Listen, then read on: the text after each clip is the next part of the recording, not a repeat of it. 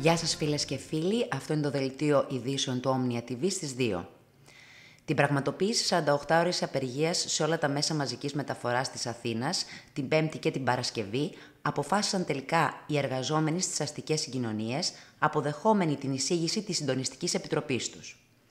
Ω εκ τούτου, την προσεχή Πέμπτη και Παρασκευή 13 και 14 του μηνός θα κινητοποιηθούν όλα τα μέσα μαζικής μεταφοράς, ενώ οι εργαζόμενοι έχουν προγραμματίσει συγκέντρωση διαμαρτυρίας στις 11 το πρωί της Πέμπτης και στη συνέχεια πορεία προς τη Βουλή. Τη 48ωρη απεργία είχε, όπως προαναφέρθηκε, εισηγηθεί νωρίτερα η Συντονιστική Επιτροπή των Εργαζομένων στις Αστικές Συγκοινωνίες και η οριστική απόφαση λήφθηκε τα διοικητικά συμβούλια των σωματείων σε κάθε μέσο μεταφοράς. Σε 48ωρη απεργία από τις 6 τα ξημερώματα της Δευτέρας, 17 Οκτωβρίου, έως την ίδια ώρα της Τετάρτης, 19 Οκτωβρίου, στα πλοία όλων των κατηγοριών, αποφάσισε η Πανελλήνια Ναυτική Ομοσπονδία κατά τη σημερινή της συνεδρίαση.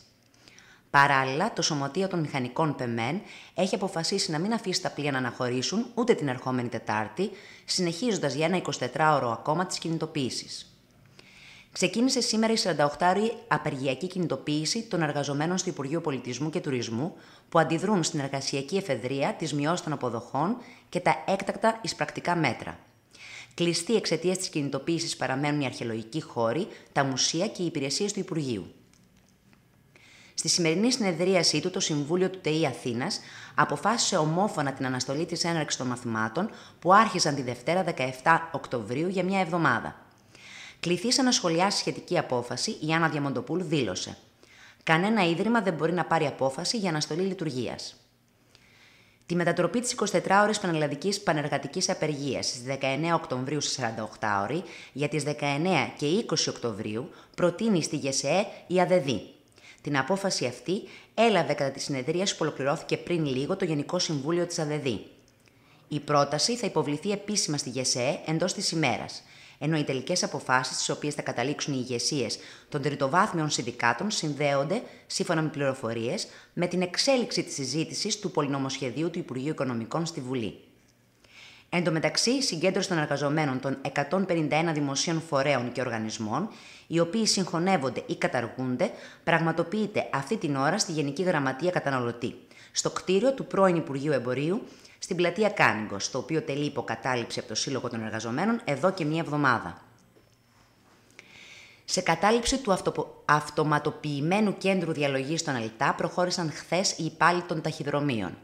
Η κινητοποίηση έγινε περιοδικά και για δύο ή τρεις ώρες αναβάρδια από τους εργαζομένους, οι οποίοι έχουν ήδη υποστεί μέσα στο 2010 μείωση των μισθών τους κατά 25%, ενώ με την εφαρμογή των νέων μέτρων το εισόδημά τους θα μειωθεί έως και 50%.